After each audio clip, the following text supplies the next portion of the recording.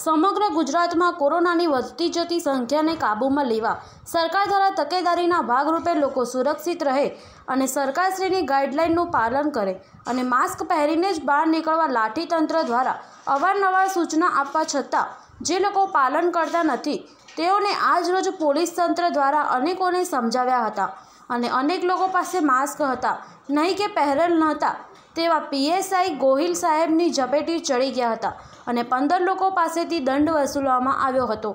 તારીખ બાર એપ્રિલ બે હજાર એકવીસના રોજ લાઠી ચેમ્બર્સ ઓફ કોમર્સ અને વેપારી મંડળની બેઠક યોજી હતી, જેમાં તેર એપ્રિલથી ત્રીસ એપ્રિલ સુધી સાંજના છથી સવારના પાંચ વાગ્યા સુધી સ્વયંભૂ લોકડાઉનનો નિર્ણય કરવામાં આવ્યો છે.